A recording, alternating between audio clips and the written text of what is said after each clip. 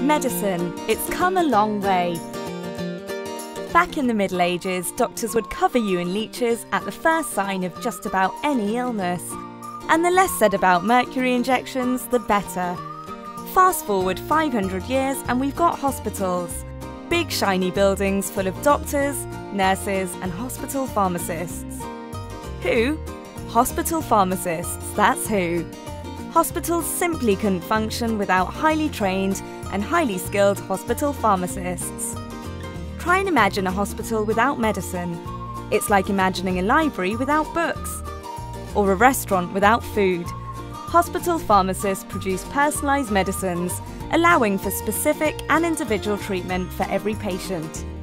They have face to face meetings with patients to ensure they understand all the important aspects of the medication they are taking Hospital pharmacists are also involved with cutting edge clinical trials, treatments for rare diseases, emergency medicines, cancer treatments, and many, many other areas of health in the hospital setting.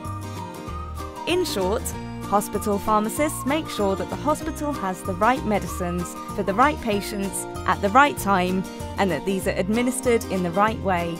They ensure that at all hours of the day and night, patients in the hospital wards have the medicines they need. Working with doctors and nurses, the hospital pharmacist helps to make sure patients get the right care and treatment. But hospitals and pharmacies, like everything in the modern world, do not stand still. Change is a constant, and the profession in Europe is dedicated to ensuring it plays its full part in the continuous improvement of treatment standards and the achievement of new levels of success in terms of patient outcomes.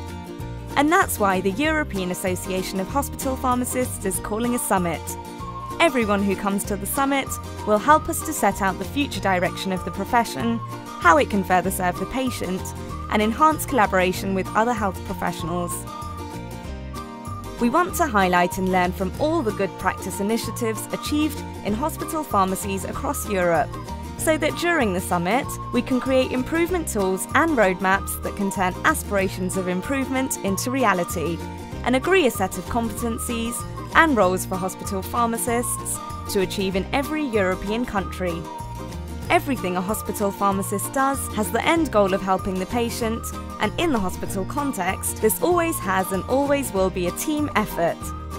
With this in mind, we're inviting patients, the public, nurses, doctors, and other clinical staff to come along and get involved.